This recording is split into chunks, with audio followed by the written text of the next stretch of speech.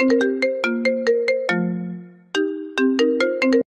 অনন্য স্টোরি সকল প্রকার পার্ট গল্প দেখতে আমাদের চ্যানেলটি সাবস্ক্রাইব করে পাশে থাকা বেল আইকনটিতে ক্লিক করে অল নোটিফিকেশন অন করে দিন। রাস্তার বিশ্রী অবস্থা। ঝড়ের কারণে বেশ অনেক জায়গায় গাছের ডালপালা ভেঙে রাস্তা ব্লক হয়েছিল। বেশ কয়েকবার গাড়ি ঘুরিয়ে রাস্তা বদলাতে হয়েছে। এই ঝড় বাদলের মাঝে তোমাকে ড্রাইভ করতে কে বলে? রাস্তা মোটেও সেফ নয়। অপেক্ষা করতে ঝড় থামলে না হয় আসতে। দুর্জয় জানে বাণী মুখে এই কথাটা বললেও মনে মনে ঠিকই চাচ্ছিল যেন দুর্জয় দ্রুত বাসায় ফিরে। বজ্রপাতকে খুব ভয় পায় কিনা দুর্জয় প্রশ্ন করে। আফরা কোথায়? স্কুলের সব হোমওয়ার্ক শেষ হলে খাওয়া দাওয়া করে ঘুমিয়ে পড়েছে। দুর্জয় চুপচাপ উঠে রুমে চলে যায়। ভেজা শার্টে বসে থাকতে খুব বিরক্তিকর লাগছে তার। বাণী ভেজা ছাতাটার পানি ছেড়ে একটা কোনায় রেখে দেয়। মেইন দরজাটা আটকে দিয়ে আরও একবার চলে যায় আফরার রুমে। মলিন রঙা গেস্ট রুমটাকে দুর্জয় নতুন মেক ওভার দিয়ে আফরার মন মতো সাজিয়েছে। সেই রুমে বেশিরভাগ সময় ঘুমায় বাচ্চাটা। স্কুলে ভর্তি হওয়ার ফলস্বরূপ নিজেকে বিগ কিড ভেবে সে এখন নিজের রুমে ঘুমাতে বেশি স্বাচ্ছন্দ্য বোধ করে। আফরা ঠিকঠাক ঘুমাচ্ছে কিনা তা চেক করে বাণী আবার নিজের রুমে ফিরে যায়। দুর্জয় তখন ওয়াশরুমে গোসল করতে ব্যস্ত। বাণী বইটা নিয়ে আরেক দফা বসে, কিন্তু মন আর বইয়ে টিকে না তার। খট করে ওয়াশরুমের দরজা খোলার শব্দ হতেই বাণী চোখ তুলে তাকায়। ফর্মাল গেট আপ বদলে ধূসর রঙের একটা টি শার্ট আর কালো ট্রাউজার গায়ে শোভা পাচ্ছে। গলায় ঝুলে আছে ভেজা টাওয়ালটা ছাটছাট করে কাটা চুলগুলোই মুক্তোর দানার ন্যায় বিন্দু বিন্দু পানে জমে আছে। বাণীর শরীর শিরশির করে ওঠে। সে দ্রুত দৃষ্টি নামিয়ে বইয়ের দিকে তাকায় আবার দুর্জয় আয়নার সামনে দাঁড়িয়ে চুল মুছতে মুছতে বলে আঁচল ভেজেনি তোমার? শাড়ি বদলাওনি কেন? ঠান্ডা লাগছে না? বাণী দৃষ্টি নত রেখেই বলে হুম। দুর্জয় আবদারের সুরে বলে এক কাপ কফি নিয়ে আসবে বানি বাণী বই রেখে বলে ওঠে দশ মিনিট ওয়েট করো এক্ষুনি আসছি। বাণী বেরিয়ে যেতেই দুর্জয় বসে ফোন চালাতে ব্যস্ত হয়ে পড়ে। মনটা বেশ ফুরফুরে তার। বাণীকে চমৎকার একটা সংবাদ শোনানোর অপেক্ষায় আছে সে। বারো মিনিটের মাথায় বাণী কফির মগ হাতে রুমে প্রবেশ করে। কফির মগটা দুর্জয়ের দিকে এগিয়ে দিতেই দুর্জয় তা নিতে উদ্যত হয়। কিন্তু মুহূর্তেই সে অবাক গলায় বলে তোমার কি ঠান্ডা লাগছে? বাণী বলে হুম। তোমার হাত কাঁপছে কেন? বাণী লক্ষ্য করে দেখে আসলেই তার হাত কাঁপছে। কি অদ্ভুত। এই হাত কাঁপাকাঁপির মানে কি? হৃদয় ঘটিত কোনো ব্যাপার নয় তো? বাণী স্পষ্ট টের পাচ্ছে আজকাল দুর্জয় তার আশেপাশে থাকলে সে এলোমেলো হয়ে পড়ে। অসহনীয় ভালো লাগার অনুভূতি জেকে ধরে তাকে। যদিও সম্পূর্ণ ব্যাপারটার কর্তৃত্ব দুর্জয়ারই, সে একটু একটু করে ভেঙে চুড়ে যাওয়া বাণীকে যত্নের আর্দ্রতায় নতুন করে গড়েছে। বিনিময়ে চেয়েছে কেবল স্ত্রীর ভালো থাকাটা। বাণীকে নিরুত্তর দেখে দুর্জয় উঠে দাঁড়ায়। বাণীর হাত থেকে মগটা নিয়ে রেখে হাতের উল্টো পিঠের সাহায্যে বাণীর কপাল ছুঁয়ে তাপমাত্রা মেপে নেয়। উহ জ্বর নেই তো তাহলে? বাণী হাঁসফাঁস করে দূরে সরে গিয়ে বলে। কিছু হয়নি ঠিক আছে তুমি কফি খাও? বলেই দিক দিশা না পেয়ে বাণী বারান্দার দরজা খুলে বারান্দায় চলে যায়। দুর্জয় অবাক হয়। এই ঝড় বৃষ্টির মধ্যে বারান্দায় গেল কেন? আর এরকম অদ্ভুত আচরণ করছে কেন? কাউন্সেলিং শুরু করার পর থেকে ধীরে ধীরে তো অনেকটাই স্বাভাবিক হয়ে গিয়েছিল মেয়েটা। বাণীর কি কোনো কারণে মন খারাপ? বারান্দা এসে বাণী উপলব্ধি করে সে ভুল করে ফেলেছে। দুর্জয় থেকে পালানোর জন্য তার আফরার রুমে কিংবা রান্নাঘরে চলে যাওয়া উচিত ছিল। বারান্দাটা খুব খারাপ অপশন। বিনা কারণে এখন তার রাত বিরাতে ভিজতে হচ্ছে। বাণী মনে মনে ঠিক করে পাঁচ মিনিট অপেক্ষা করে সে সোজা ওয়াশরুমে গিয়ে গোসল করে ফেলবে। আর গোসল সেরে বেরিয়ে এক ঘুম এসে সকালের আগে উঠবে না। বাণীর মনের ভাবনার বাস্তবে রূপ নিতে পারে না। তার আগেই দুর্জয় বারান্দা এসে উপস্থিত হয়। চোখে মুখে খানিকটা উদ্বেগ। তীক্ষ্ণ চোখে তাকিয়ে বোঝার চেষ্টা করছে বাণীর কি হয়েছে। বাণী অস্বস্তি নিয়ে প্রশ্ন করে তুমি এখানে কি করছ? প্রশ্নটা আমার তোমাকে করা উচিত। কি করেছ তুমি? অদ্ভুত আচরণ করছ খুব। কিছু হয়েছে? মন খুব খারাপ? কিছু হয়নি আমার মনও খারাপ না। তাহলে? বাণী কিছুক্ষণ হাঁসফাঁস করে বাহিরে তাকায়। দুর্জয় আরেকটু এগিয়ে এসে ডাকে। বানি ঝমঝমিয়ে নামা বৃষ্টিতে ভিজে কপকাত বাণী ধীরস্বরে বলে সমস্যাটা হৃদয় ঘটিত। ইদানিং তুমি আশেপাশে থাকলে তা টের পাচ্ছি নিস্তার পেতে পালাচ্ছি। দুর্জয়ের দৃষ্টিতে বিদ্যুৎ খেলে গেল। অবাক হয়ে তাকিয়ে থাকে সে। বিস্ময়তায় বাখারা বনে যায়। বাণী একবার চোখ তুলে দুর্জয়কে দেখে। সে জানে এই মুহূর্তে সে দুর্জয়কে পাশ কেটে চলে গেলেও দুর্জয় কখনো তাকে বাধা দিবে না না কখনো নিজ থেকে নির্দিষ্ট দূরত্বটা ঘোচাতে এক কদম এগোবে। এতগুলো মাসে অন্তত একটু তো বাণী বুঝতে পেরেছে যে কিছু ব্যাপার দুর্জয় সম্পূর্ণ বাণীর উপর ছেড়ে দিয়েছে। তাদের মাঝে দূরত্বটাও সেই ব্যাপারগুলোর মধ্যে অন্যতম। নিজের জড়তা ভুলে বাণী নিজেই দুই কদম এগিয়ে আসে। আদ্র হাতটা বাড়িয়ে দুর্জয়ের এক হাত ধরে আলতো করে। বছর খানিক আগে বাণীকে দেখে দুর্জয়ের চারিপাশটা যেরকম থমকে যেত একইভাবে আবার সে থমকে যায়। বাণীর দিকে তাকিয়ে গাঢ় গলায় বলে এইমাত্র বললে পালাতে চাইছো? বাণীর বলতে ইচ্ছে করে। গত কদিন ধরে সে পালানোর চেষ্টা করেছে খুব কিন্তু প্রতিবারই সে উপলব্ধি করেছে দুর্জয়বাদে অন্য কোনো ঠিকানা নেই তার পালানোর জন্য। আর এই ঠিকানাটার মতো নিরাপদ যত্নে মোড়ানো ভরসাস্থল সে আর কোথাও পাবে না। উত্তরটা মনে চেপে গিয়ে বাণী আরেক হাত বাড়িয়ে দুর্জয়ের অপর হাতটা ছুল। অন্যরকম অনুভূতিতে দুর্জয়ের বুকটা ধুকভুক করে ওঠে। বাণীর দুই হাতের পিঠে সন্তর্পণে নিজের অধর ছোঁয়ায় নিশ্চিত হতে ফিসফিসিয়ে প্রশ্ন করে। অস্বস্তি লাগছে তোমার? বাণী মৃদু মাথা নেড়ে নাবদক উত্তর দেয়। স্ত্রীর তরফ থেকে পরোক্ষ স্বীকারোক্তি দরজার অনুভূতিকে প্রবাল করে তোলে। নিয়ন্ত্রণের বেড়িবাদ ভেঙে শীতল হাতের সংস্পর্শে বাণীকে বৃষ্টির প্রকোপ থেকে বাঁচাতে তাকে দেয়ালের দিকটা সরিয়ে এনে নিজে তার সামনে দুর্বোধ্য প্রাচীরের ন্যায় দাঁড়ায়। এবার আর বৃষ্টি বাণীকে ছুতে পারছে না। আলতো স্পর্শে কালো চুলগুলো কানের পেছনে গুজে দিতেই বাণী চোখ বুজে নেয়। পরপর নিজের অলিক পৃষ্ঠে শীতল অষ্টদয়ের নিবিড় স্পর্শ টের পায়। স্পর্শকারীর মোহমন্ত্রে বাণী শিউরে ওঠে। বিমুগ্ধ সব স্পর্শে মহাচ্ছন্ন হয়। অনুভূতির উথাল স্রোতে বিভোর বাণীর কানের কাছে শ্যাম পুরুষের নিষ্পপ স্বর আওড়ায়।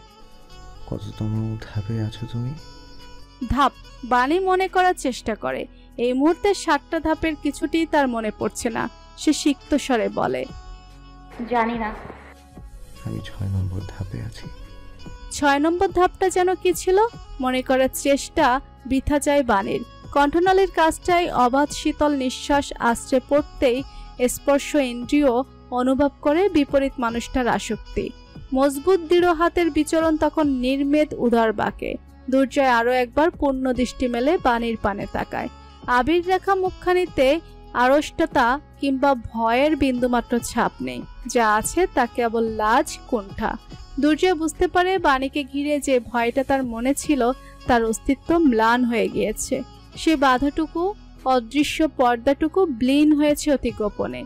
তিত্তির করে কেঁপে ওঠা সরু অধৈর্যগল পুরুষ্ঠ স্পর্শের কবলে সিক্ত হতেই সবশেষ দূরত্বটুকু ঘুচে যায়। শুভ্র নারী আঙুলের প্রতিটা ভাঁজ দখল করে নেয় শ্যামপুরুষের আঙুলগুলো।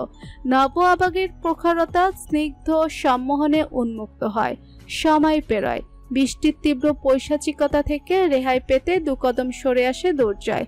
বাণী চোখ মেলে তাকায়। দুর্জয়ের গভীর দৃষ্টি দেখে সঙ্গীন পরিস্থিতি আজ করতে পেরে ছোট্ট করে ঢোক গিলে। সেই রজনীতে খোলস ছাড়ানো দুর্জয়ের নমনীয়তায় নিজের অস্তিত্ব ভুলে বসে বাণী। কখনো আবিষ্কার করে নির্মল হৃদয়ের ব্যাকুলতা, কখনো বা ভীত হয় শ্যামপৃষ্ঠে কালশিটে আঘাতের দাগগুলোর একমাত্র দর্শনকারী নারী হয়ে।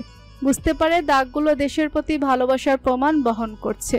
ঠিক যেমন প্রেমময় বর্ষণের মুহূর্তে ঘুমকাতরে পুরুষালী স্বরে ছোট্ট করে জানা ডাকটা বাণীর প্রতি আবেশিত অনুভূতির প্রমাণ বহন করছে। ভিনদেশের মাটিতে এক রহস্যজনক দৃশ্যপট। গাড়ির অন্তরালে ফ্রন্ট সিটে বসা নারীর তীক্ষ্ণ দৃষ্টি সদর অ্যাপার্টমেন্টের তিনতলার ব্যালকনিতে নিবদ্ধ। কিছুক্ষণ পরপর হাতের ওয়ান টাইম কফি মগটাতে চুমুক বসাচ্ছে সে। ঘুমের সঙ্গে তীব্র অবরোধ জারি করে চাকরির দায়িত্বটুকু পালনের তীব্র প্রচেষ্টা। হুট করে শূন্য ব্যালকনিতে একজন মধ্যবয়স্ক পুরুষের আগমন হতেই তীক্ষ্ণ দৃষ্টি সম্পন্ন নারী ব্যস্ত হয়ে ওঠে। হাতের ওয়ান টাইম কফির মগটা পাশের ড্রাইভিং সিটে বসে থাকা জুনিয়রের হাতে ধরিয়ে দিয়েই। নিজের ক্যামেরার সাহায্যে সচেতনতার সহিত আপন কাজে মগ্ন হয়ে পড়ে। দু চারটে ছবি ক্যামেরাবন্দি করতেই সে ছবিগুলো আবার ভালো করে চেক করে নেয়। ছবিতে মানুষটার মুখ স্পষ্ট দেখা যাচ্ছে কি না নিশ্চিত হতেই সে এবার ক্যামেরাটা রেখে দেয়। কফির মগটা নিজের হাতে বুঝে নিয়ে ঘুমে ঢুলতে থাকে জুনিয়রকে বলে কাজ শেষ লেটস গো। উক্ত জুনিয়র ছেলেটার মস্তিষ্ক দ্রুত সজাগ হয়ে যায়। সে সুকৌশলে গাড়িটা স্টার্ট দিয়ে অন্য রাস্তায় প্রবেশ করতেই অপরাধীর স্বরে বলে সরি ম্যাম সারা রাত ধরে লোকটার অপেক্ষায় জেগেছিলাম তো কখন চোখ লেগে গিয়েছিল টের পাইনি। কফির মগের শেষ চুমুকটা দিয়েই সেই নারী জবাব দেয় be serious about your job it is your last chance next time R sorry বলার সুযোগ পাবে না তুমি। ডোন্ট ওয়ারি ম্যাম আমি আর কখনো আপনাকে অভিযোগের সুযোগ দিব না। কথাটা বলেই সেই জুনিয়র ছেলেটা হাসি হাসি মুখ করে তাকায় পাশে বসা নারীর দিকে। ছেলেটার নাম ইমাম। শার্প ফেস স্ট্রাকচারের নারীটা তাদের ডিপার্টমেন্টে স্ট্রিক্ট আচরণের জন্য খুব আলোচিত। কিন্তু গত দু মাস ধরে এই নারীর সঙ্গে এক কেসের পেছনে ছোটাছুটি করতে গিয়ে ইমাম উপলব্ধি করেছে, ম্যাম, সারাটাক্ষণ কিছু একটা নিয়ে বিষণ্ণ থাকে। এই ব্যাপারে ইমাম নিজের প্রেমিকাকেও জানিয়েছে। কিন্তু তার প্রেমিকা উল্টো তাকেই সন্দেহ করে কয়েক দফা ঝগড়া সেরেছে অতি ভদ্র ছেলেটা কাউকে বোঝাতে পারে না যে সে কেবল ম্যামের বিষণ্ণতার কারণ জানতেই আগ্রহী আর কিছুই নয়। হঠাৎ সেই নারী চিন্তিত সুরে চেঁচিয়ে ওঠে। আমার প্যান্ডেন্ট ইমাম দ্রুত গাড়ির ব্রেক কষে প্রশ্ন করে কি হয়েছে দৃশান ম্যাম? দৃশান সিটের আশেপাশে কিছু একটা খুঁজতে খুঁজতে চিন্তিত গলায় জবাব দেয়। আমার প্যান্ডেন্ট খুঁজে পাচ্ছি না। কোথায় পড়ে গেল বুঝতে পারছি না। গলাতেই তো ছিল। ইমাম অবাক হয় না তেমন একটা। মেয়ে মানুষ নিজেদের শখের গয়না নিয়ে একটু সেন্সিটিভই হয়। কিছুক্ষণ খোঁজাখুঁজি করতে গাড়ির ভেতরে নিজের কাঙ্ক্ষিত প্যান্ডেন্টটা খুঁজে পায় দৃশান। সঙ্গে সঙ্গে তা হাতে তুলে নিয়ে একটা স্বস্তির নিঃশ্বাস ফেলে। ইমাম অবাক দৃষ্টিতে দেখে সে সামান্য প্যান্ডেন্টটা লকেটের চেইনের সঙ্গে ঝুলছে একটা রেশিন দিয়ে তৈরিকৃত একটা বৃত্তাকার গোলক। স্বচ্ছ রেসিনের ভেতর স্পষ্ট দেখা যাচ্ছে কিছু রং বেরঙের ছোট্ট ফুল। ইমামের এই মুহূর্তে হাসি পেল। সে কিছু না ভেবেই বলে ওঠে আপনার চিন্তা দেখে আমি ভেবেছিলাম কোনো হীরের হার হবে হয়তো। কথাটুকু বলেই ইমাম উপলব্ধি করে সে ভুল জায়গায় ভুল কথা বলে ফেলেছে। সে ভীত দৃষ্টিতে একবার দিশানের দিকে তাকায়। দিশানের মনোযোগ তখন সে প্যান্ডেন্টের দিকে। রেসিনের ভেতর সংরক্ষিত ফুলগুলো কারও একজনের স্মৃতি বহন করে। সম্পর্কহীন মানুষের স্মৃতিও কি কখনো গুরুত্বপূর্ণ হয়? কি অদ্ভুত! সকাল সকাল নাস্তার জন্য টেবিলে খাবার গুছিয়ে নিয়েছে বাণী আজকে নাস্তার আয়োজনে রয়েছে আফরার প্রিয় খাবার।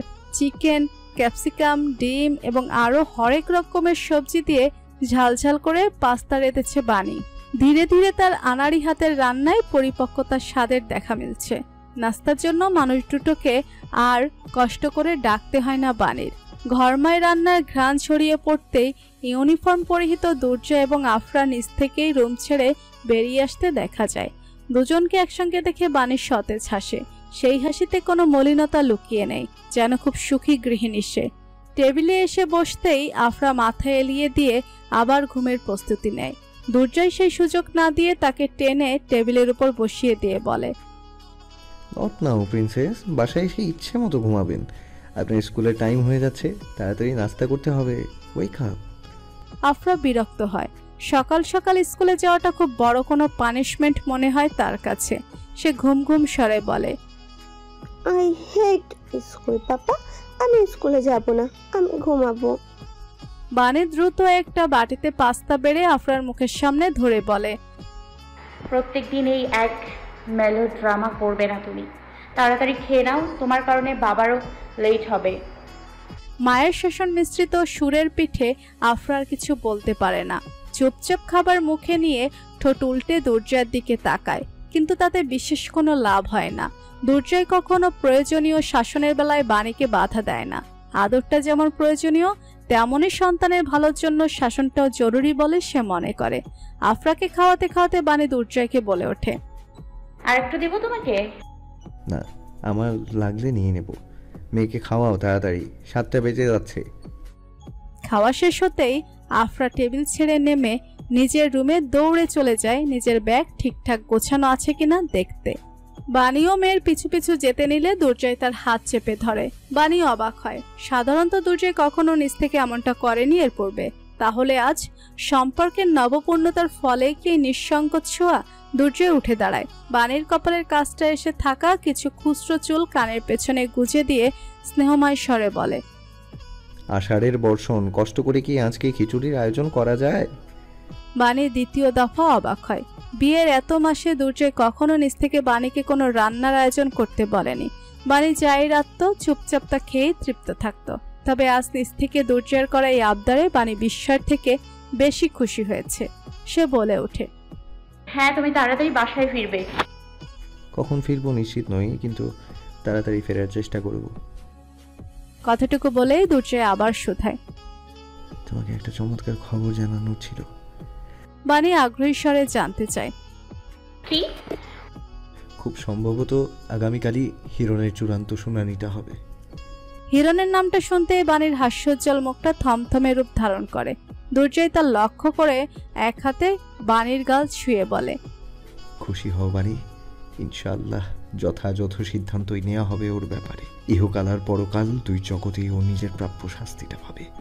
বাণীর মনটা হঠাৎ খুব খারাপ হয়ে যায়। সে বিষণ্ণ মনে বলে ওই শাস্তি কি ভুক্তভোগীদের ক্ষতিটা কখনো পূরণ করতে পারবে?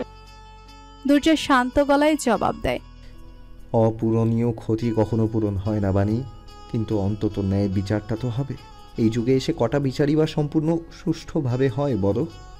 বাণী আর কিছু বলার পূর্বেই আফরা নিজের ব্যাগ কাঁধে বেরিয়ে আসে। দুর্জয় এগিয়ে গিয়ে ব্যাগটা নিজের হাতে নিয়ে নেয়। আফরা মায়ের কাছ থেকে বিদায় নিয়ে বাবার হাত ধরে বেরিয়ে যায়। যাওয়ার আগে দুর্জয় বাণীর কানের কাছে ধীরস্বরে বলে ওঠে। আমি আছি। আফরা আছে, তুমি আছো। ভাবনাগুলো সম্পূর্ণ আমাদের কেন্দ্রিক করে ফেলো।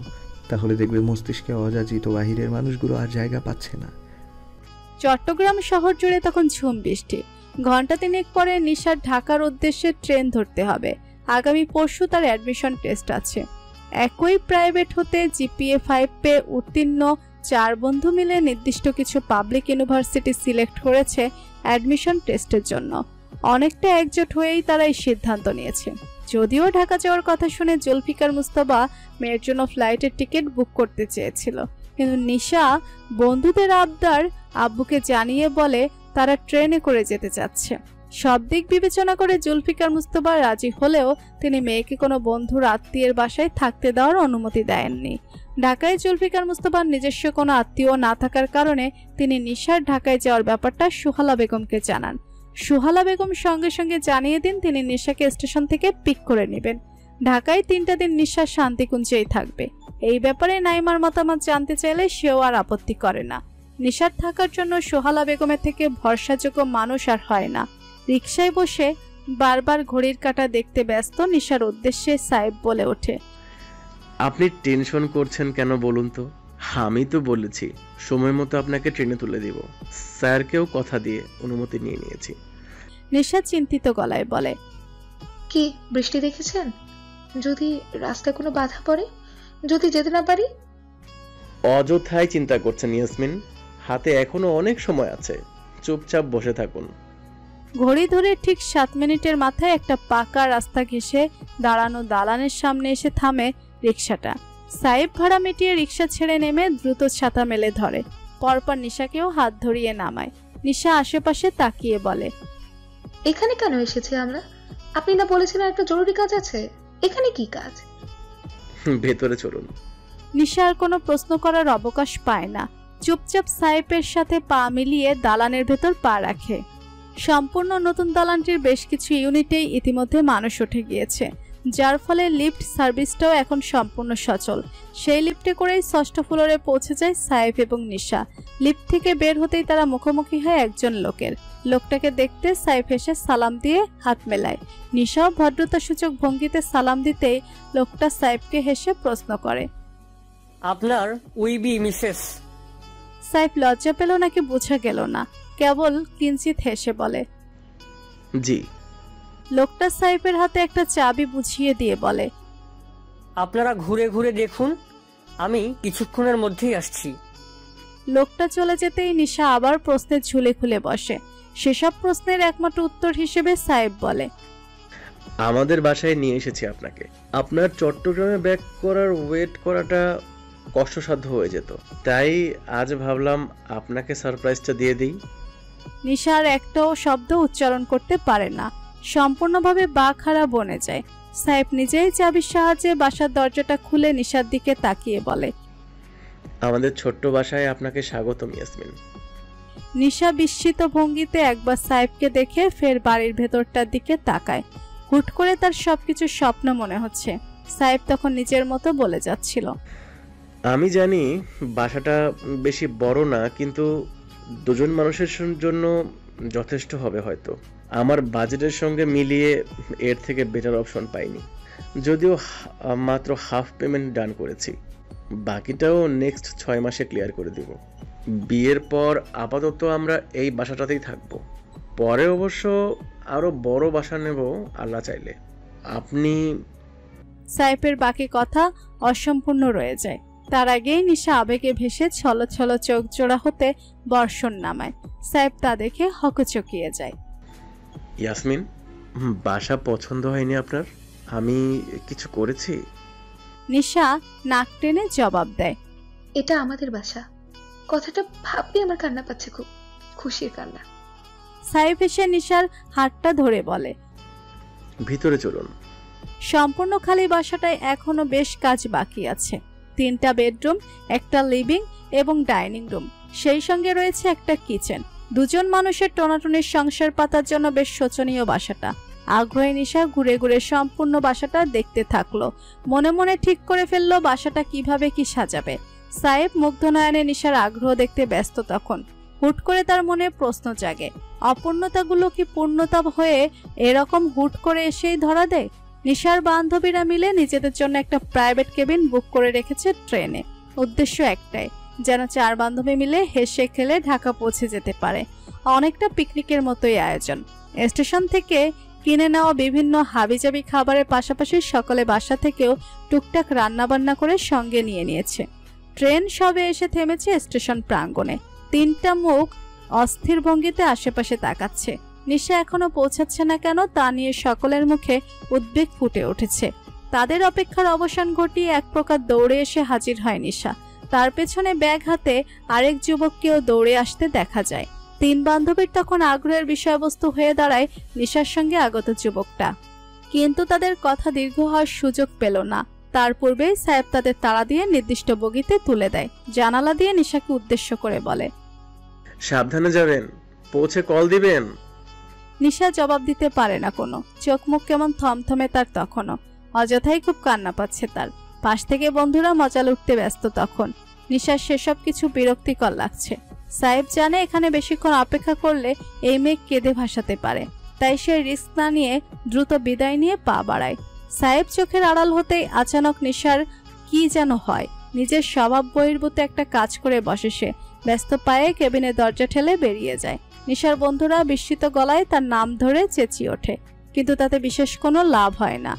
নিশা ততক্ষণে ট্রেন ছেড়ে নেমে অস্থির নয়নে চারপাশে কাউকে খুঁজতে ব্যস্ত। কিছুটা দূরে নির্দিষ্ট মানুষকে পেছন থেকে দেখতে সে সেদিকে দৌড়ে যায়। নিশার বান্ধবীরা ততক্ষণে বগির দরজায় দাঁড়িয়ে নিশার নাম ধরে উচ্চস্বরে ডাকছে। স্টেশনের এক ঝাঁক মানুষের মনোযোগ তখন তাদের পানে স্থির। বেশি দূর না যাওয়ায় সাইফও সেই ডাক শুনে পিছনে ফিরে তাকায়।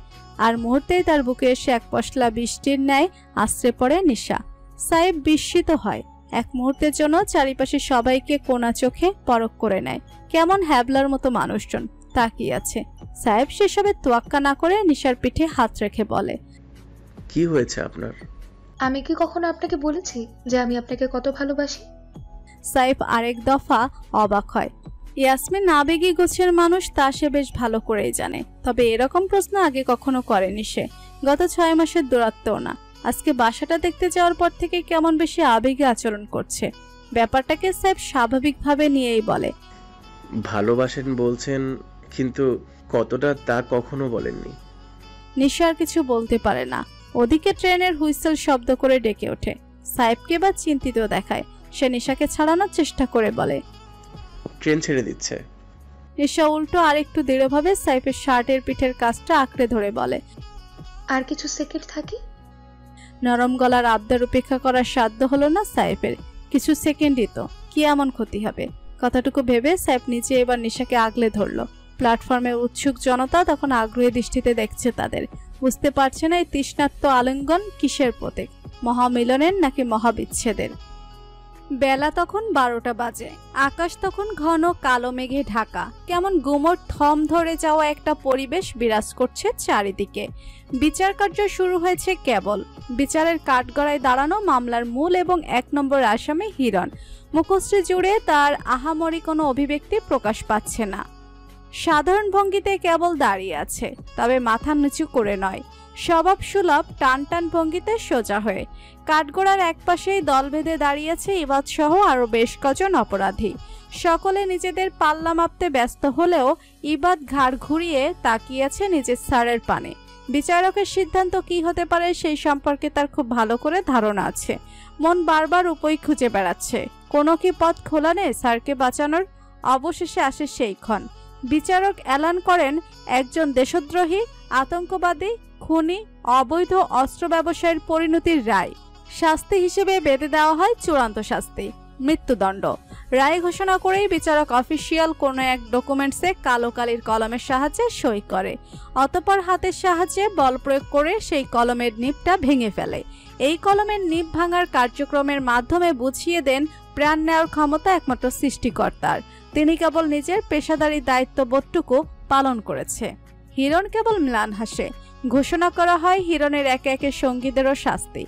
ইবাদ যে কিনা প্রত্যক্ষভাবে হিরানের প্রত্যেকটা অপকর্ম জড়িত, যার হাতও কিনা বহু নিষ্পাপ মানুষের রক্তে রাঙা, তার শাস্তিটাও তার শ্রদ্ধেয় স্যারের থেকে আলাদা হয় না।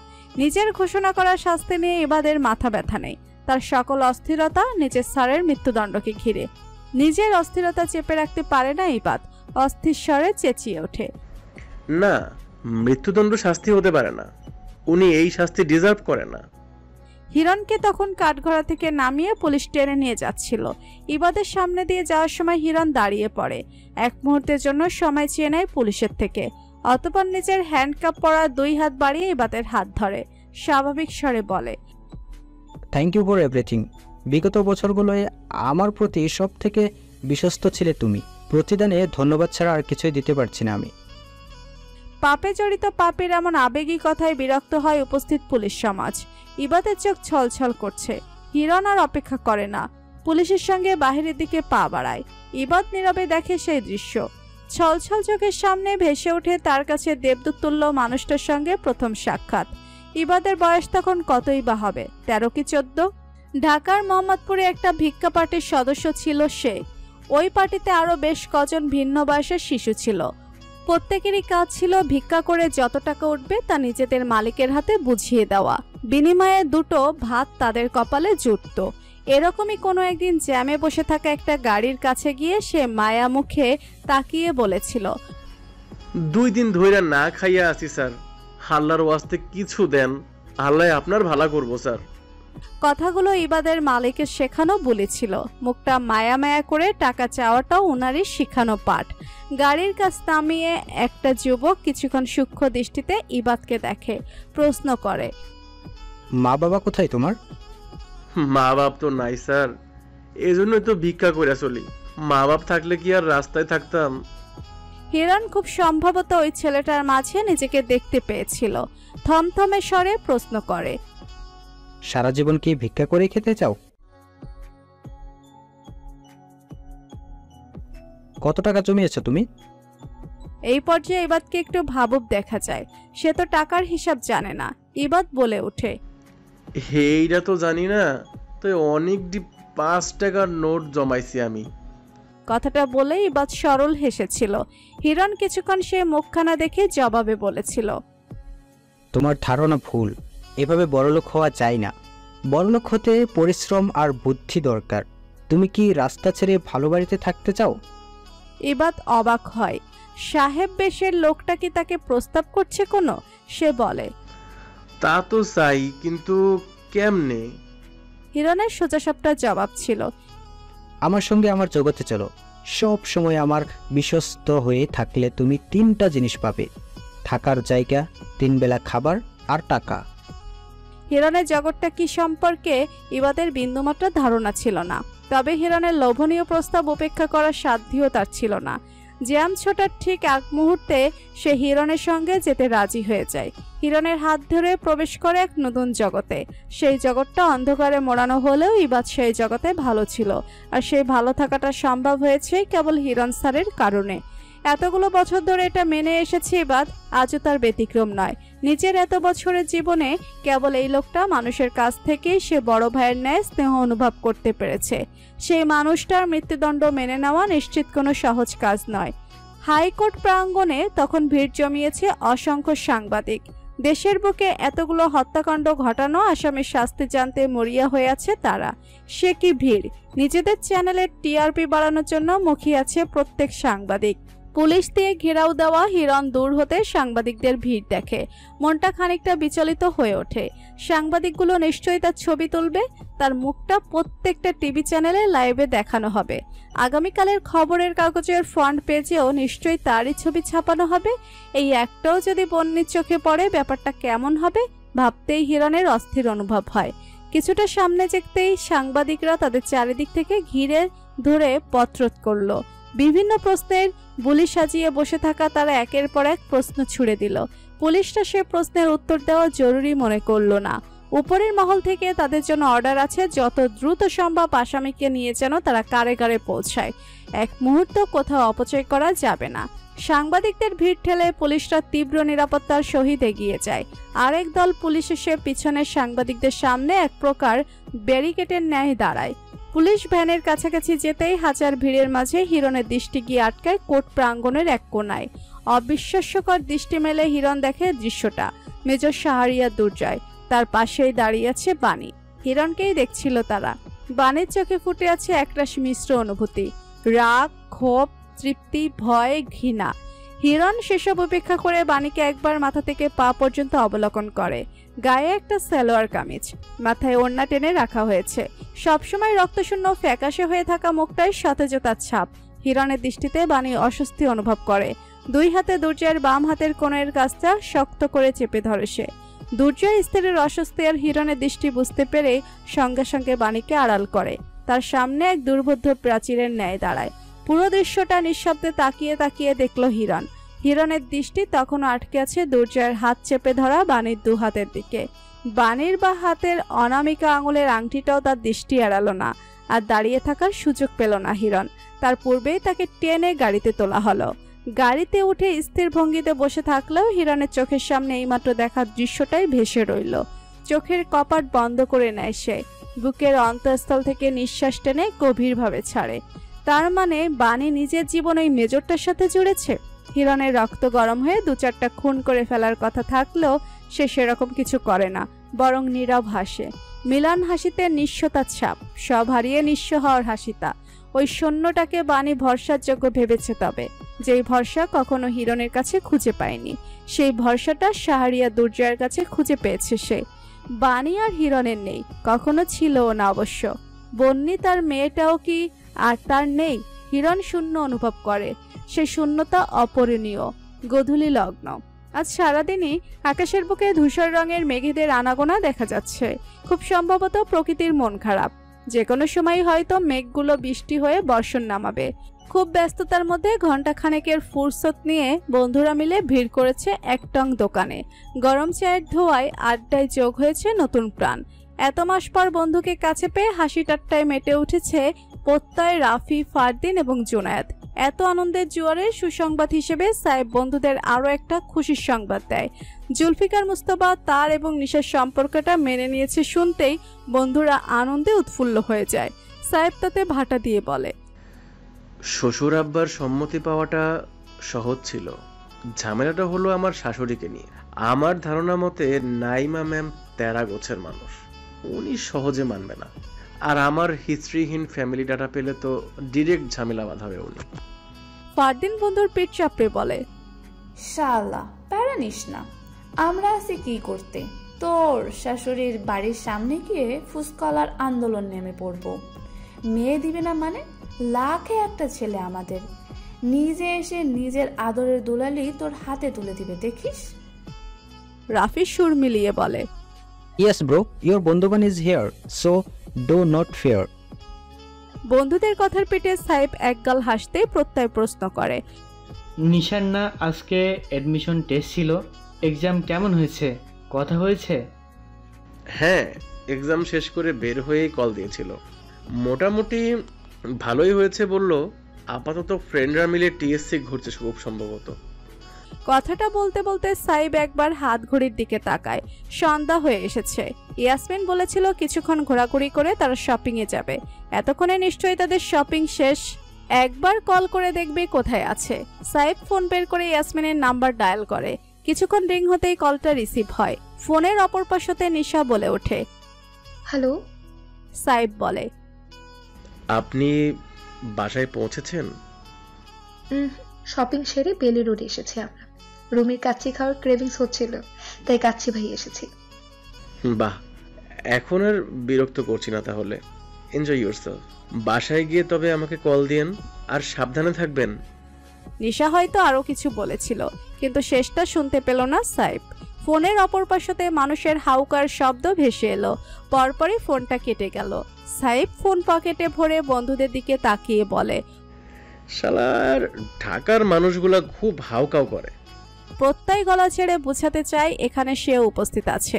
সাইফ হেসে বলে শালার তুই একটা এক্সেপশনাল পিস ভাই। তুই শান্তি কমিটির মেম্বার এই কারণে প্রপার ম্যাচ হিসেবে ঝগড়াঝাটি ভাবিকে আল্লাহ তোর সাথে মিলাই দিছে। উনি হয়েছে চিল্লা পাল্লা কমিটির মেম্বার তোর পোলাপাইনগুলা কোন কমিটির মেম্বার হইব এইটাই ভাবতেছি আমি। প্রত্যয় বিড়বিড়িয়ে বলে চিড়িয়াখানা কমিটির মেম্বার হবে ওরা। গল্প আড্ডায় মেতে থাকা প্রাণগুলো টেরই পেল না কখন অনেকটা সময় পেরিয়ে গিয়েছে। হঠাৎ আড্ডায় মশগুল সাহেবের টনক নড়ে দোকানের ভেতর হতে ভেসে আসা ছোট্ট টিভির ক্ষীণ শব্দে। সে কান খাড়া করে কিছু শোনার চেষ্টা করে পরপর বলে ওঠে চাচা টিভির ভলিউম বাড়ান তো। মধ্যবয়স্ক লোকটা ভাঙা রিমোটের সাহায্যে টিভির ভলিউমটা বাড়াতেই এবার বাকি চার বন্ধুও সেদিকে মনোযোগ স্থির করে। প্রবল চেঁচামেচির শব্দ ভেদ করে সাংবাদিকের উচ্চারণ করা বাক্যটা সাইফের মস্তিষ্কে গিয়ে আলোড়ন সৃষ্টি করে। আজ সন্ধ্যা নাগাদ বেইলি রোডে একটা কমার্শিয়াল ভবনে অগ্নিকাণ্ডের ঘটনা ঘটেছে। ভবনটিতে বেশ কিছু রেস্টুরেন্ট আছে। তার মধ্যে কেএফসি পিৎজা হাট, কাচ্চি ভাইও বেশ পরিচিত। আগুনের সূত্রাপাতের ঘটনা সম্পর্কে এখনও স্পষ্ট কিছু জানা যায়নি। তবে ভবনে অবস্থিত মানুষের ভিতরে আটকা পড়ে আছে। ফায়ার সার্ভিসের একটা দল ইতিমধ্যে ঘটনাস্থলে পৌঁছেছে। সাহেব কিছুক্ষণ মূর্তির ন্যায় দাঁড়িয়ে সবটা শুনল। অতপর দ্রুত পকেট থেকে ফোন বের করে এলোমেলো ভঙ্গিতে একটা নাম্বার ডায়াল করে। ফোনটা লাগাতার বেঁচে যায়, কিন্তু অপর পাশের মানুষটা আর কল রিসিভ করে না। এক প্রকার দিক দিশা হারিয়ে টঙের বাহিরে রাস্তা ধরে ছুটল। বিস্মিত বন্ধুরা কিছু বুঝতে পারল না, তবে তারাও ছুটল সাইফের পেছনে। সব সময় দুরন্ত ছুটে বেড়ানো ছেলেটা বেশি দূর যেতে পারল না। মাঝপথে মুখ থুবড়ে রাস্তায় পড়ে গেল। বোঝার পর থেকেই শিকড়হীন এই পৃথিবীতে টিকে থাকার লড়াইয়ে সাহেব কখনো কাঁদেনি। আজও সে কাঁদে না, তবে চোখ ভরে ওঠে। সে তো পুরো জীবন সৎ ছিল। না খেয়ে থাকলেও কখনো কারও হক মারেনি। কখনো কারও প্রতি সজ্ঞানে বিন্দুমাত্র অন্যায় করেনি। তাহলে তার কপালে সামান্য সুখ সইল না কেন? এই সুখটা কি সাইফের হক ছিল না? নাকি তার মতো অভাগার জন্য সুখ চাওয়াটাও পাপ? বেলি রোডের রাস্তা জুড়ে তখন মানুষের ভিড়। সবার দৃষ্টি নিবদ্ধ আগুনে দাউ দাউ করা রেস্টুরেন্টের পানে। গত এক ঘণ্টা ধরে ফায়ার সার্ভিস কর্মীরা আপ্রাণ চেষ্টা করে যাচ্ছে আগুন নেভানোর জন্য। কিন্তু আগুনের লেলিহান শিখা যেন আজ ভেতরে আটক সবগুলো প্রাণ কেড়ে নিয়ে তবেই শান্ত হবে। আগুনের মূল সূত্রপাত নিচতলা থেকে হয়েছে বলে জানা গিয়েছে। চোখের পলকে সে আগুন ধীরে ধীরে উপরের ফ্লোরগুলোতেও ছড়িয়ে পড়েছে। হুট করেই ব্যস্ত শহরটাই ছড়িয়ে পড়েছে তপ্ত বিষণ্নতা এত মানুষের ভিড় ঠেলে এক প্রকার দৌড়ে এসে সেখানে হাজির হয়েছে দুর্জয় বাণী। আজ সকালেই তারা আফরা সমেত ঢাকায় এসেছে। প্ল্যান ছিল আজ এবং কাল সারাটা দিন সোহালা বেগমের কাছে থেকে পরের দিনটায় চট্টগ্রাম ফিরে যাবে। এতদিন পরে ঢাকায় ফিরে এবং হিরানের চূড়ান্ত রায়ের পরে সবার মধ্যে কাজ করা খুশির অনুভূতিটাই যেন হুট করেই ভাটা পড়ে গেল। জুলফিকার মুস্তফার কল পেয়ে নিউজটা পেতেই দুর্জয়ার বাণী এক মুহূর্ত বাসায় অপেক্ষা করতে পারল না। আফরাকে সোহালা বেগমের কাছে রেখে হন্তদন্ত হয়ে ছুটে এসেছে। বিভৎসকর পরিস্থিতিটাই দুর্জয়ের মস্তিষ্ক ঠিকঠাক কাজ করতে পারছে না। এত ভিড়ের মাঝে নিশাকে সে কীভাবে খুঁজবে বুঝে উঠতে পারছে না। এলোমেলো ভঙ্গিতে চারিপাশে তাকিয়ে সে একজন ফায়ার সার্ভিসের কর্মকর্তার কাছে এগিয়ে যায়। শুকনো গলাটা ভিজিয়ে নিয়ে প্রশ্ন করে আপনারা কাউকে উদ্ধার করতে সক্ষম হয়েছেন এখন পর্যন্ত? আমার বোন ও ভেতরে আছে। নাম ইয়াসমিন মুজতবা নিশা। মস্তিষ্কের ন্যায় দুর্জয়ের কথাগুলো এলোমেলো ঠেকল। দমকল বাহিনীর কর্মকর্তা বাকি সকলের মতো দুর্জয়কেও একই জবাব দিল। আপনার অপেক্ষা করুন আমরা চেষ্টা চালাচ্ছি। বাণী ততক্ষণে নিজের ফোনে নিশার ছবি বের করে আরেকজন দমকল বাহিনীর কর্মকর্তাকে দেখিয়ে বলছিল। প্লিজ আপনার একটু ভেতরে যান। এই ভয়াবহ আগুনে মেয়েটার কষ্ট হচ্ছে। দ্রুত ওকে উদ্ধার করুন। লোকটা বিরক্তমাখা স্বরে বলে ম্যাডাম আপনার একার রিলেটিভ ভিতরে আটকা পড়েনি আরও অনেকে স্বজনই ভিতরে আটকা পড়েছে। একটু ধৈর্য ধরে অপেক্ষা করুন। দমকল বাহিনীর সহায়তা করতে এগিয়ে এসেছে একদল যুবক সমাজ। যে যেভাবে পারছে আগুন নেভানোর জন্য সর্বোচ্চ সাহায্যটুকু করছে। একদিকে যখন স্বজনদের দম ফাটা আর্তনাদ, অপরদিকে তখন আরেক দল জনগণ ফোন হাতে সেই দৃশ্য রেকর্ড করতে ব্যস্ত।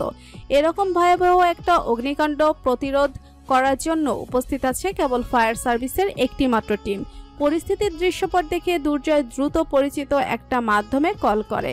ধমকের সুরে বলে, বেইলি রোডে এই মুহূর্তে যেন অন্তত আরও দুটো ফায়ার সার্ভিসের টিম পাঠানোর ব্যবস্থা করা হয়।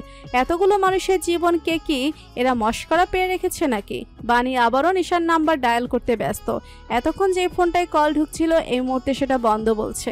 বাণী ভীত গলায় দুর্জয়কে বলে নিশার নাম্বার এখন বন্ধ আসছে আল্লাহ। মেয়েটা ভেতরে কি অবস্থায় আছে আল্লাহ জানেন আল্লাহ হেফাজত করুন দুর্জয় মলিন চোখে একবার ভবনটার দিকে তাকায়। কাচের গ্লাস দিয়ে আবৃত ভবনটার কোথাও বিন্দুমাত্র ফাঁক দেখা যাচ্ছে না, যেখান দিয়ে সামান্যতম অক্সিজেন প্রবেশ করতে পারবে। নিশা মেয়েটা ছোটবেলা থেকে বড্ড নাজুক স্বভাবের। নাজুক মেয়েটা এই পরিস্থিতিতে নিজেকে কীভাবে সামলাচ্ছে কে জানে। জুলফিকার স্যার এবং সাইপ ইতিমধ্যে ঢাকার উদ্দেশ্যে বাইয়ার রওনা দিয়েছে। তাদের সামলানো কঠিন হয়ে পড়বে। ওই দুটো মানুষ চোখের সামনে এই আগুনের দৃশ্যটা কীভাবে সহ্য করবে, ভাবতেই দুর্জয় ভীত হয়ে পড়ে। হঠাৎ ভিড়ের পশ্চিম পার্শ্বতে একটা কণ্ঠস্বর কানে ভেসে আসতে দুর্জয়বাণী বিস্মিত ভঙ্গিতে সেদিকে তাকায়।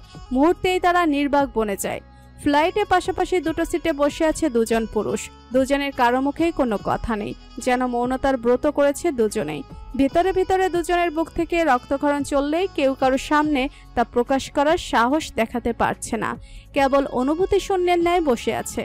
তাদের পাশের সারিতেই আরেকটা সিটে বসে আছে প্রত্যয়। এই পরিস্থিতিতে বন্ধুকে একা ছেড়ে দেওয়ার দুঃসাহস সে দেখাল না। কোনো মতে ম্যানেজ করে সেও সাইফের সঙ্গে ঢাকা যাচ্ছে।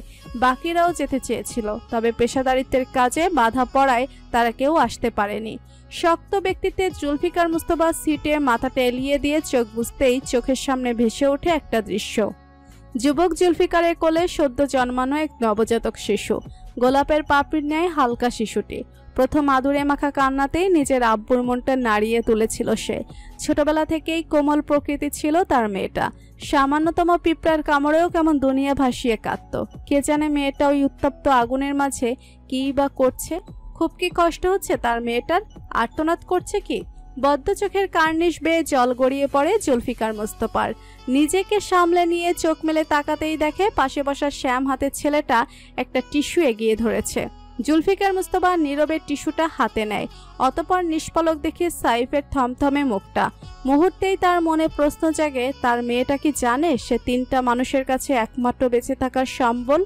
জুলফিকার, নাইমা, সাইফ তিনটা মানুষই খুব একা। দিন শেষে তাদের আপন বলতে কেবল একজনই আছে। ইয়াসমিন, মুস্তফা, নিশা। বেলি রোডের একটা রাস্তার মোড়ে পার করে রাখা কালো গাড়িটার পেছনের একপাশের দরজাটা খোলা। সেই দরজার পাশে পানির বোতল হাতে দাঁড়িয়ে আছে দুর্জয়। ভেতরের সিটে বসে আছে বাণী। তার বুকে কেমন গুটিসুটি মেরে মুখ লুকিয়ে ফোফাচ্ছে নিশা। বাণী অনবরত মেয়েটার মাথায় হাত বুলিয়ে যাচ্ছে। সে কিংবা দুর্জয় কেউই এখন পর্যন্ত একটা প্রশ্ন করেনি নিশাকে। এইটা প্রশ্ন উত্তরের সময় নয়। মেয়েটা সুরক্ষিত আছে সেটার জন্যই মনে মনে আল্লাহর দরবারে লাখো কোটি শুক্রিয়া জানাচ্ছে তারা। বাণী নরম স্বরে বলে একটু পানি খাও ঘেমে গিয়েছো তুমি খারাপ লাগবে। নিশা কোনো জবাব দেয় না। দুর্জয় ক্লান্ত চোখ মেলে দূরে তাকায়। এখনও আগুন নিভেনি। কালো ধোঁয়াগুলো যেন কুণ্ডলি পাকিয়ে আকাশ ছোঁয়ার চেষ্টায় মত্ত।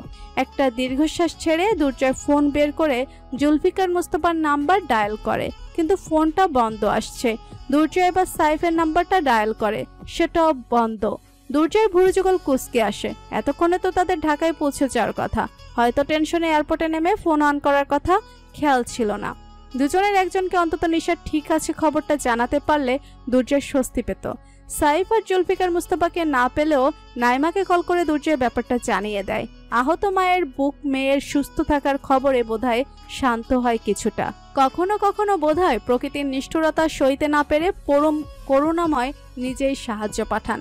দমকল বাহিনী যখন আগুন নেভাতে হিমশিম খাচ্ছিল, ঠিক সেই মুহূর্তে মেঘে ঢাকা আকাশ হতে ভারী বর্ষণ নামে। পৃথিবীর বুকে জলমান এক টুকরো আগুনকে শান্ত করতেই যেন সেই বৃষ্টির আগমন। গাড়ির ভেতর ড্রাইভিং সিটে নীরব ভঙ্গিতে বসে আছে দুর্জয়। পেছনের সিটে বাণীকে জড়িয়ে ধরে বসে আছে নিশা। ঠিক সেই মুহূর্তে দুর্জয়ের ফোনটা বেজে ওঠে, প্রত্যয়ের কল। দুর্জয় কলটা রিসিভ করে প্রত্যয় জানায় তারা বেলি রোডে এসে পৌঁছেছে। দুর্জয় কেবল ছোট্ট করে কোথায় আসতে হবে বলে ফোনটা রেখে দেয়। নিশার ব্যাপারটা জানায় না। মানুষ দুটো নিজে এসে দেখুক যে নিশা সম্পূর্ণ সুস্থ আছে। দুর্জয় পেছনের দিকে ফিরে নরম স্বরে বলে আপনি কান্না থামাও ভাইয়া। স্যার এসে পড়েছেন কাছাকাছি আছে। এখন এসে পড়বে সাইফও সাথে আছে। আব্বু আর সাইফের কথা শুনতে নিশা ধীরে ধীরে সোজা হয়ে বসে। ততক্ষণে রাস্তার একপাশে কিছুটা দূরে এসে একটা ক্যাব থামতে দেখা যায়। বৃষ্টি মাথায় নিয়ে গাড়ি থেকে নামে দুটো বিধ্বস্ত মানুষ। নিশা গাড়ির ভেতর হতে দুজনকে দেখে। অতপর বিলম্ব না করে নিজেও গাড়ির দরজা খুলে নেমে যায়। দুজোড়া পা হঠাৎই থেমে যায়। কালো গাড়িতে হতে নেমে আসা মেয়েটাকে দেখে কেমন অবিশ্বাস্যকর দৃষ্টি মেলে তাকিয়ে থাকে দুজন। থমকে রয় আপন জায়গায়, তবে নিশা নিজ জায়গায় স্থির থাকতে পারে না। দৌড়ে গিয়ে নিজের আব্বুর বুকে আশ্রে পড়ে। এতক্ষণে চাপা কান্নাটা এতক্ষণে হুহু কুষারে বেরিয়ে আসে। ভাঙা গলায় কিছু বলে। কান্নার দমকে তা স্পষ্ট বোঝা যায় না। সাইফের শরীরটা কেমন টলছে তখন। সে ভরা চোখে দেখছে অবিশ্বাস্যকর দৃশ্যটা। মনে হচ্ছে সবটা স্বপ্ন। ইচ্ছে করল হাত বাড়িয়ে বাবার বুকে পড়ে থাকা আদুরে মেয়েটাকে ছুঁয়ে দেখতে। কিন্তু সে আর তা করল না। কেবল চুপচাপ সেভাবেই দাঁড়িয়ে রইল। জুলফিকার মুস্তফা মেয়েকে জাপটে ধরে লাগাতার আওড়াচ্ছেন। আম্মু, আব্বু এসেছে। কান্না থামাও মা। কিচ্ছু হয়নি। কিচ্ছু হয়নি আম্মু। নিশা শান্ত হতে পারে না। তার চোখের সামনে এখনও ভাসছে সন্ধ্যার দৃশ্যপট। রিক্সায় করে রেস্টুরেন্টের সামনে এসে নামে চার বান্ধবী। নিশা ভাড়া মেটাতে মেটাতে তার তিন বান্ধবী রেস্টুরেন্টের ভেতর প্রবেশ করে। নিশাও ধীরে সুস্থে ভাড়া মিটিয়ে ব্যাগের ভেতর পার্সটা রাখতে নেবে ঠিক এমন সময় সাইফের কল এসেছিল। কল রিসিভ করে নিশা ফুটপাতের এক ধরে দাঁড়িয়ে কথা বলছিল। ঠিক এমন সময় রেস্টুরেন্টের ভেতর থেকে কিছু মানুষের চিৎকারের শব্দ ভেসে আসে। নিশা বোকার ন্যায় রেস্টুরেন্টের দিকে তাকাতেই দেখে কেমন কালো ধূসর ধোয়ার চারিপাশটা ছেয়ে যাচ্ছে। কিছু বুঝে ওঠার আগেই দেখা মিলে আগুনের শিখার। ততক্ষণে আশেপাশের মানুষের চেঁচামেচি আর ছুটাছুটি শুরু হয়ে গেছে। হঠাৎ কার সঙ্গে ধাক্কা লেগে যেন নিশার ফোনটা কোথাও পড়ে যায়। নিশার সেই মুহূর্তে ফোনের দিকে খেয়াল ছিল না।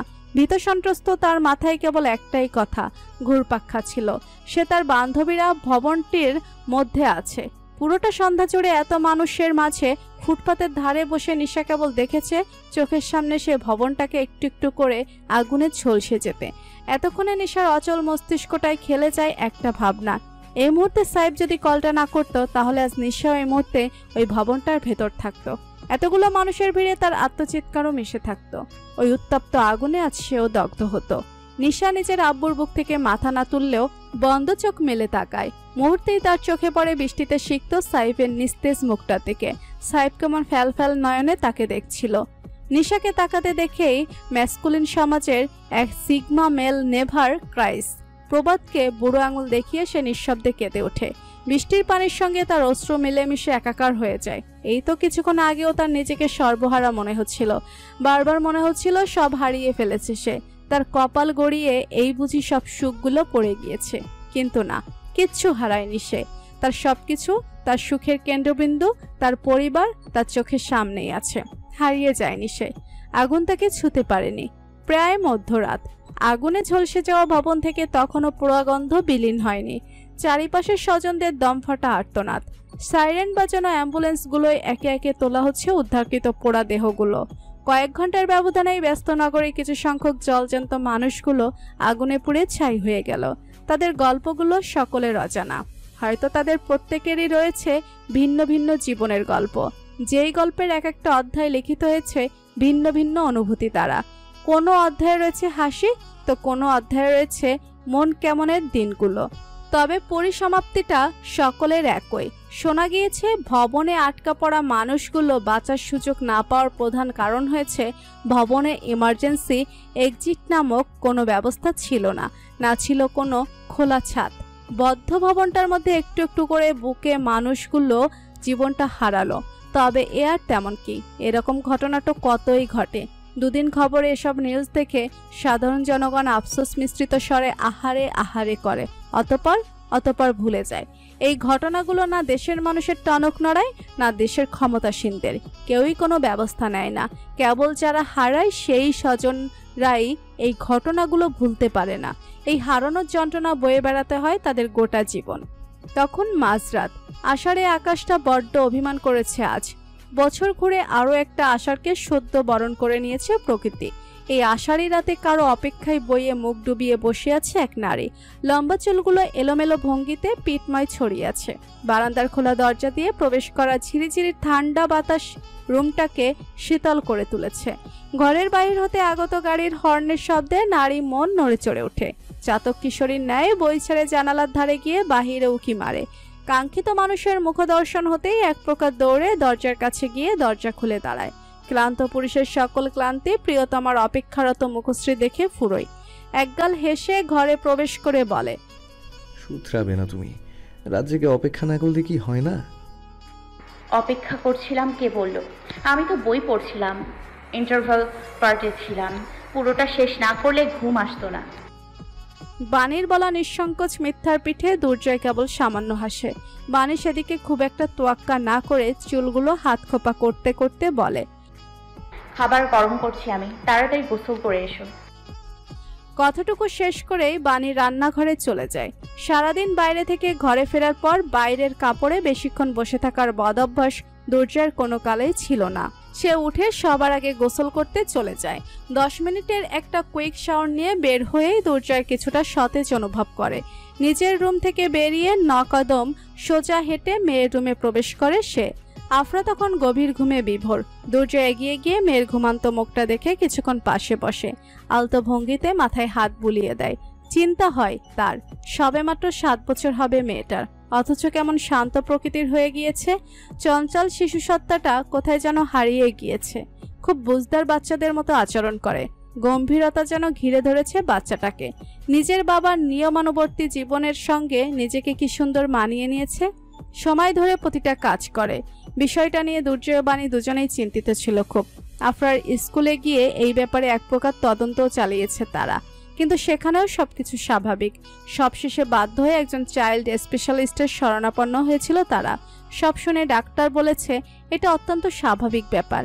ধীরে ধীরে বড় হওয়ার সাথে সাথে একটা শিশুর মনস্তাত্ত্বিক বিকাশটাও হয়। এটা তেমন কোনো চিন্তার বিষয় নয়।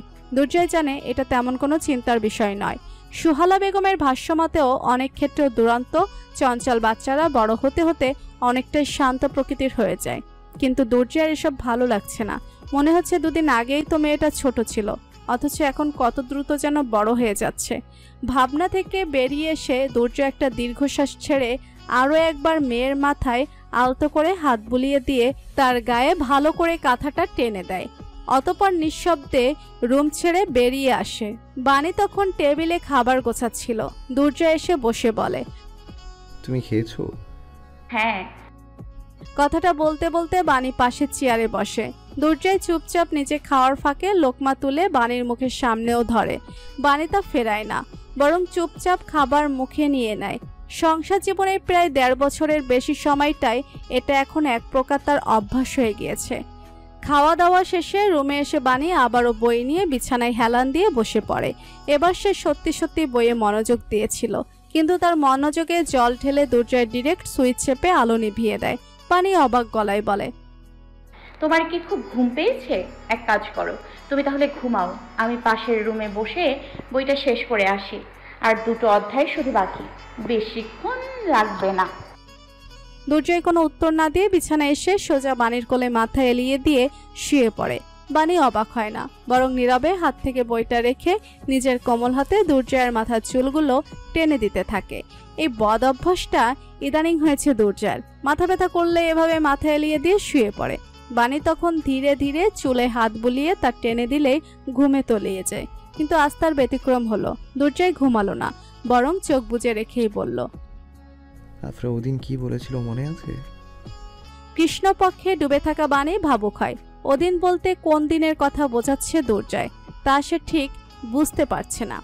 এই বুঝতে না পারার ব্যর্থতায় সে প্রশ্নের পিঠে প্রশ্ন জুড়ে দিয়ে ছোট্ট করে বলে কবে? আমাদের তিনজনের মুভি ডে আউটে ওই ফ্রোজেন মুভিটা দেখার পরে। বাণী আবার মনে করার চেষ্টা করে। সচরাচর ডিজনি মুভি দেখে না আফরা? কিন্তু এই মুভিটা তার খুব পছন্দ হয়েছিল। এলসাকে ডিজনি সিনেমার আইকনিক একটা চরিত্র হিসেবে ভূষিত করেছিল। আর বিশেষ কিছু কি বলেছিল? মনে করতে না পেরে বাণী আরেক দফা প্রশ্ন করে। কি বলেছিল? ভাই বোন থাকাটা একটা ব্লেসিং বাণীর মনটা হঠাৎ বিষণ্ণ হয়ে যায়। দুর্জয় ধীর গলায় বলে আমরা দুজনেই নিজেদের ভাই হারিয়েছি বানি সহদরের অভাবটা আমরা খুব ভালো বুঝি। আমাদের মেয়ে সেই অভাবটা ঘুচিয়ে দিলে কেমন হয়? দুর্জয়ের কথার সূক্ষ্ম ইঙ্গিত বুঝতে পেরে বাণীর মুখটা লজ্জায় রক্তিম বর্ণ ধারণ করে। অন্ধকার কক্ষে সেই লজ্জা মাখা মুখশ্রীটা দেখতে না পেলেও দুর্জয় সেই লজ্জার লেশ অনুভব করে। সে ধীরে ধীরে পাশ ফিরে বাণীকে জড়িয়ে ধরে তার পেটে মুখ বুঝে শাড়ির আঁচল ভেদ করে উত্তপ্ত নিঃশ্বাসের সংস্পর্শ আসতেই বাণী কিছুটা কেঁপে ওঠে। দুর্জয় তখন নরম গলায় বলছে তোমার মত জানতে চাইছি কেবল তুমি না চাইলে I am totally okay with that আমি আফরার বাবা। ও যথেষ্ট আমার জন্য। শুধুমাত্র ওর বাবা হয়ে আমি পুরো জীবন নির্দ্বিধায় কাটিয়ে দিতে পারব। কিন্তু ওর মা বাবা হলেও অনেকগুলো জিনিস আমরা মিস করে গিয়েছি। আমি ওর জীবনের পাঁচটা বছর মিস করে গিয়েছি। তুমি একটা নর্মাল প্রেগনেন্সির জার্নি মিস করে গিয়েছো। একটা বাচ্চাকে কেন্দ্র করে মা বাবার এই অনুভূতিগুলো কতটা দামি হয় তা আমি আন্দাজ করতে পারছি। আমি জানি হারিয়ে যাওয়ার সময় আর ফিরে আনার সুযোগ নেই। কিন্তু আরেকটা ছোট্ট প্রাণের মাধ্যমে we can experience the journey of parenthood again Bani এতক্ষণ চুপচাপ দরজার কথা শুনছিল। দরজার কথার অর্থ সে খুব ভালো করে বুঝতে পারছে। বাণী জানে, সে যদি এই মুহূর্তে বলে যে সে আর বাচ্চা চায় না, তবে দুর্জয় জীবনে ওটা নিয়ে টু শব্দ করবে না। কিন্তু বাণীর মনেও একটা শূন্যতা আছে। প্রথম প্রেগনেন্সি প্রত্যেকটা নারীর কাছেই একটা ম্যাজিক্যাল জার্নি হয়। কিন্তু বাণীর প্রথম প্রেগনেন্সি জার্নিটা ছিল ভয়াবহ।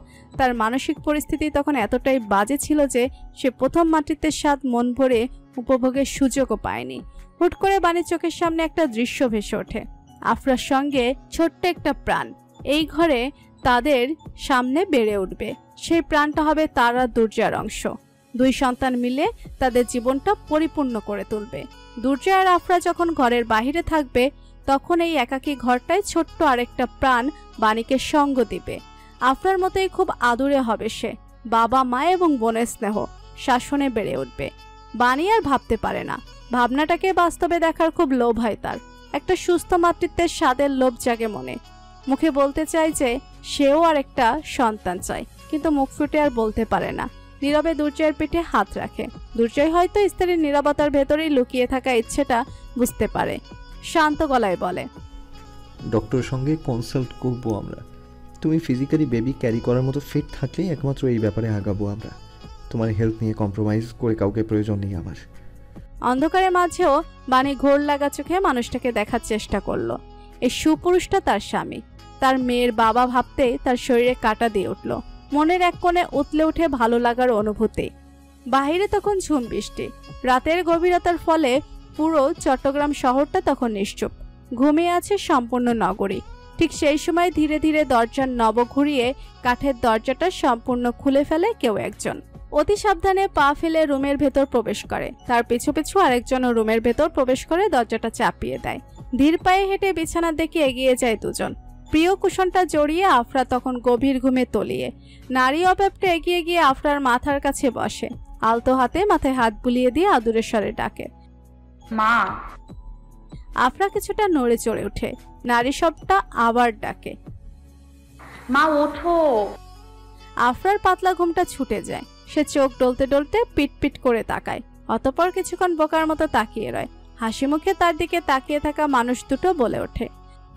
হ্যাপি বার্থডে আফরার ঘুম পুরোপুরি উবে যায় এবার। সে দ্রুত উঠে বসে। দুর্জয় হাতে আফরার প্রিয় ডার্ক ফরেস্ট কেক কেকের উপর সুন্দর করে ইংরেজিতে লেখা আফরা টান সেভেন। মেয়ের বিস্মিত মুখ দেখে দুর্জয় হাতের কেকটা একপাশে রেখে হাত বাড়িয়ে একটা সুইচ অন করে দেয়। মুহূর্তে সম্পূর্ণ রুমটা ফেরি লাইটের টিমটিমে সোনালি আলোয় আলোকিত হয়ে যায়। বাণী পেছন থেকে মেয়েকে জড়িয়ে ধরে বলে হ্যাপি বার্থডে মা। মধ্যরাতের এই অপ্রত্যাশিত সারপ্রাইজে আফরা খুশি হয়। খোলা মনে হেসে বলে থ্যাংক ইউ মাম্মা। দুর্জয় দুহাত মেলে দিতেই আফরা মায়ের কোল ছেড়ে গিয়ে বাবার গলা জড়িয়ে ধরে। দুর্জয় আদুরে গলায় বলে হ্যাপি বার্থডে প্রিন্সেস আপনার সারপ্রাইজ পছন্দ হয়েছে? ইয়েস বাণী উঠিয়ে দাঁড়িয়ে তাড়া দিয়ে বলে আগে কেক কাটো দ্রুত ক্যান্ডেলস গলে যাচ্ছে। আফরা বিছানার মাঝটায় জায়গা করে বসে। তার দুপাশে বসে আছে দুর্জয় আর বাণী। মোমবাতিগুলো ফু দিয়ে নিভিয়ে জীবনের নতুন একটা বছরকে শুভেচ্ছা জানায় সে। কেক কাটার পর্ব শেষ করতেই দুর্জয় উঠে গিয়ে বেশ কিছু ব্যাগ নিয়ে রুমে ফিরে আসে। ব্যাগগুলো থেকে অনেকগুলো র্যাপিং করা গিফট বক্স বের করে আফরার সামনে রেখে বলে, এগুলো সব আপনার। মাম্মা, বাবা, স্পেশালি আপনার জন্য এগুলো চুজ করেছি। গিফট বক্সগুলো নিয়ে আফরাকে আগ্রহী দেখায়। সে উৎসাহ নিয়ে একটা একটা করে গিফট বক্স আনবক্সিং করতে থাকে। কোনটাতে মার্বেল স্টুডিজের চরিত্রগুলোর টয় সেট কোনোটাতে আবার চমৎকার স্টোরি বুকস পছন্দসই উপহার পেয়ে আফরা চোখ মুখ ঠিকরে তখন আনন্দ প্রকাশ পাচ্ছে। হঠাৎ গোলাপি রঙের র্যাপিং পেপার মোড়ানো বক্সটা চোখে পড়তেই সে সেটা হাত বাড়িয়ে নেয়।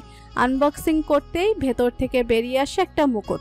মুকুটের ডিজাইনটা অনেকটা এলসার মুকুটের মতো। দুর্জয় মুকুটটা নিয়ে আফরার মাথায় পরিয়ে দিয়ে হাসি মুখে বলে আমাকে নিজের বাবা হিসেবে চুজ করার জন্য ধন্যবাদ বাচ্চা। আমাকে বাবা বানানোর জন্য ধন্যবাদ। আপনি আমার কাছে আল্লাহর পাঠানো সবথেকে স্পেশাল গিফট বাণী মুগ্ধ নয়নে তাকিয়ে বাবা মেয়ের আদুরে আলাপ শুনতে থাকে। আফরা বিছানা ছেড়ে নেমে আয়নার সামনে যায়। মাথার মুকুটটা দেখবে বলে আয়নায় তাকিয়ে ঘুরে ঘুরে বারবার মুকুটটা ছুঁয়ে দেখছিল সে। হঠাৎ আবছা আবছা একটা ঘটনা তার মনে পড়ে যায়। ঘটনাটা তার পাপাকে ঘিরে। পাপাও একবার এরকমই একটা মুকুট নিয়ে এসেছিল তার জন্য। পুরোপুরি দৃশ্যটা বন্যির মনে না পড়লেও পাপার কথা মনে পড়ে তার। সুপ্ত মনে প্রশ্ন জাগে, পাপা এখন কোথায় আছে? কতদিন পেরিয়ে গেল? শেষ কবে পাপাকে দেখছিল তাও আফরার মনে নেই। আচ্ছা পাপার তাদের জীবনে আর না থাকাটা কি ভালো কিছু? দিদা তো তাই বলে, জীবনে যা হয় সব কিছুর পেছনেই নাকি কোনো না কোনো ভালো লুকিয়ে থাকে। আফরা ধরে নেয়, তার পাপার দূরে থাকাতেই হয়তো তাদের ভালো। মাম্মাকে এখন আর কেউ ব্যথা দেয় না। মাম্মাও আগের মতো আর এত চুপচাপ থাকে না। এমন নয় যে আফরা নিজের পাপাকে উঠে কিন্তু সেই রাতের ভয়ঙ্কর দৃশ্যটা তার মস্তিষ্কের সম্পূর্ণ বেঁধে গিয়েছে। যতবারই পাপার কথা মনে পড়ে, ততবারই সেই রাতে মাম্মার ওই কান্না মাখা মুখটা তার চোখের সামনে ভেসে ওঠে। ছোট্ট মনটা তিক্ততায় ভরে ওঠে। অনুভব করে মায়ের সঙ্গে করা অন্যায়কারীর প্রতি ঘৃণা। মন বলে ওঠে, ওই ভয়ঙ্কর মানুষটা যেন আর কখনো তাদের জীবনে ফিরে না আসে। ওই রকম ভয়ঙ্কর পরিস্থিতির সাক্ষী আর কখনোই হতে চায় না আফরা। আফরার জন্মদিনে তিন দিন পেরিয়েছে কেবল। সেদিন সন্ধ্যায় রান্নাঘরে পাকোড়া ভাজতে ব্যস্ত ছিল বাণী। আফরা তখন সবে পড়তে বসেছে। হঠাৎ কলিং বেল বেজে উঠতেই বাণী রান্নাঘর থেকে বেরিয়ে আসে। দরজা খুলতেই দেখে দুর্জয় ফিরেছে। বাণী অবাক হয়ে বলে, দুর্জয় ঘরে প্রবেশ করতে করতে বলে ব্যস্ততা ছিল না আজ খুব একটা তাই দ্রুত ফিরে আসলাম। আর তাছাড়াও তোমার জন্য দুটো নিউজ আছে আমার কাছে। বাবার গলার স্বর টের পেয়ে আফরা ততক্ষণে নিজের রুম ছেড়ে বেরিয়ে এসেছে। মেয়েকে দেখে দুর্জয় হেসে বলে বাবা মাত্র বাহির থেকে এসেছি আম্মুজি। আপনি রুমে যান বাবা ফ্রেশ হয়ে আপনার কাছে আসছে। আফরা মিষ্টি হেসে নিজের রুমে ফিরে যেতেই বাণী প্রশ্ন করে কি নিউজ দুর্জয় জুতো খুলতে খুলতে বলে। প্রথম নিউজটা হলো আমি সহ স্পেশাল ফোর্সের লেফটেন্যান্টদের বিশেষ সম্মাননা প্রদান করা হবে। আতঙ্কবাদীদের ওই কেসটা সফলভাবে সম্পন্ন করার কারণে এই আয়োজন। আয়োজনটা সামনের সপ্তাহে ঢাকা সদর দপ্তরে আয়োজিত হবে। বাণী প্রফুল্ল গলায় বলে। কংগ্রাচুলেশন দুর্জয় এবার উঠে বাণীর মুখোমুখি দাঁড়িয়ে বলে। আর দ্বিতীয় নিউজটা হলো একটা গোপন সূত্রে খবর পেয়েছি যে সামনের সপ্তাহে হিরণের মৃত্যুদণ্ডের রায়টাও কার্যকর হয়ে যাবে। বাণীর প্রফুল্লতাটা ম্লান হয় বিড়বিড়িয়ে বলে। অবশেষে। দুর্জয় বাণীর কাঁধে হাত রেখে বলে ওই লোকটা দেখা করতে চাইছে তোমার সাথে শেষবারের মতো। দুঃসাহসিক আবদার করে বসেছে। তুমি কি চাও? বাণী বিস্মিত হয়। দেখা করতে চায় মানে? কি কারণে? মরার আগে বাণী জীবনটা আবার নরক বানিয়ে দেওয়ার নতুন কোনো পায় তারা নাকি? বাণী ওই লোকটাকে এক বিন্দু ভরসা করতে পারে না। অভিশপ্ত একটা লোক, যার জীবনেই ওই লোকের ছায়া পড়ে, তাদের প্রত্যেকের জীবনটা দুর্বিষহ করে তোলে। বাণীর এই নতুন জীবনটাও যদি আবার এলোমেলো হয়ে যায়